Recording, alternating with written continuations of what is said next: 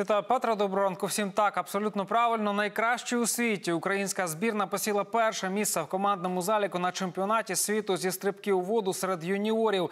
Напередодні змагання завершилися в Києві беззаперечним тріумфом господарів.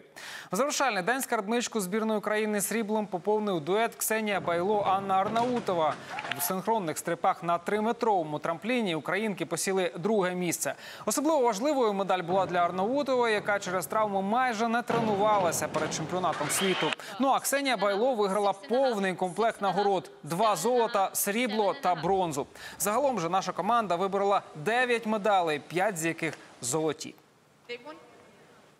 А вони відмучилися. Всі українські клуби офіційно припинили участь у цьогорічних Єврокубках. З більш-менш гідним результатом провела груповий етап ліги конференції УЄФА Зоря. Луганчани наостанок зіграли у нічию з лідером групи Будьоглімт 1-1. Однак навіть із сімома очками зоря не змогла вийти в плей-офф. Далі йдуть норвежці та Рома. Пробитися в 1-8 фіналу Ліги Чемпіонів не вдалося і Руслану Маліновському. Гол українця не допоміг Аталанті вдома перемогти Вілья Реал посісти друге місце групі Ф. На початку другого тайму господарі безнадійно поступалися 0-3. Голи Маліновського та Сапати впродовж 9 хвилин подарували надію бергамаскам. Втім, іспанці втримали переможні 3-2 і відправили Аталанту у Лігу Європи. Часом ми зовсім не контролювали гру. Особливо на мою команду вплинув швидкий пропущений гол. Ми зіграли добре впродовж 10 хвилин, коли забили двічі і навіть могли зрівнювати рахунок. Однак технічні помилки завадили нам врятувати гру. Нелегка доля антивакцинатора. Гравець Мюнхенської Баварії Йозуа Кімміх, який відмовився робити щеплення від ковіду, а пізніше захворів на коронавірус, цього року на поле вже не вийде. Після коронавірусу в невакцинованого футболіста почалися ускладнення, які вдарили по легенях. Життю Кіміха нічого не загрожує, однак повноцінно тренуватися та грати він найближчий місяць не зможе. Не виключено, що це ще не всі проблеми німця. Керівництво Баварії у відповідь на небажання кількох своїх футболістів вакцинуватися оголосило, що не платитиме їм зарплатню, поки ті хворіють. А оскільки ускладнення у Кіміха сталися через його відмову щепитися, це може позначитися на гаманці гравця. Дві перемоги та нічия. Такі результати поєдинків українських бійців у Бі-1 Промоушенс про Богдана братів Богдана та Валентина Штонди і Ярослава Міхалушка. Богдан Штонда одностайним рішенням суддів здобув перемогу над італійцем Франческо Леззі. Це шоста звитяга Богдана в шести поєдинках у профі. Його брат Валентин Штонда у видовищному бою не поступився досвідченішому співвітчизнику Артему Айвазіді, хоча двічі побував у нокдауні.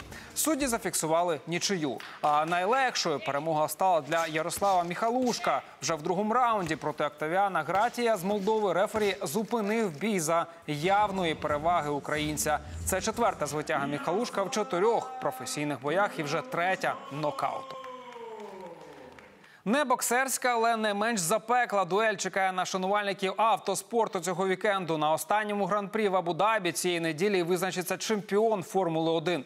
Вперше майже за 50 років до фінальних перегонів лідери заліку Льюіс Гемілтон та Макс Ферстапен підійшли з абсолютно однаковою кількістю очок. З кожним гран-прі градус протистояння на трасі між чинним чемпіоном Гемілтоном та Ферстапеном зростав зіткнення, вильоти, маневри на межі, а часом і за межами правил. Британець та нідерландець не грабували нічим в боротьбі один з одним.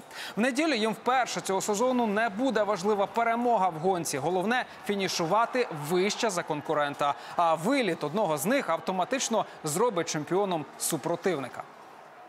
Блискавки в ударі. П'яту поспіль перемогу в регулярній першості НХЛ відсвяткував чинний володар Кубка Стенлі Тампа Бей Лайтнін. Цього разу блискавки приголомшили лідера східної конференції Торонто та ще й на його майданчику. Господарі відкрили рахунок на другій хвилині у більшості. Втім, невдовзі Белмар та Стемкос відповіли двома влучними кидками. Завдяки голу Нюландера на першу перерву кленові листки пішли за рівного рахунку. Однак у другому періоді голи Палата і Реддіша після передачі Стемкоса вивели тампу вперед. А останньому періоді невгамовний Стемкос асистував Палату, коли той встановив остаточний рахунок 5-3 вже у порожні ворота.